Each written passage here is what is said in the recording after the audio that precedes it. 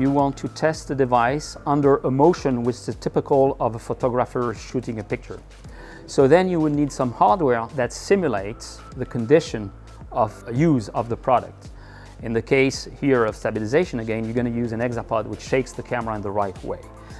Whenever you're designing a cameras for a drone, for surveillance, for automotive application, at some point you need to benchmark your product against competitors and you need to know how to improve it. And we work with companies like uh, PI in order to get a test suite which includes hardware, software and complete solutions.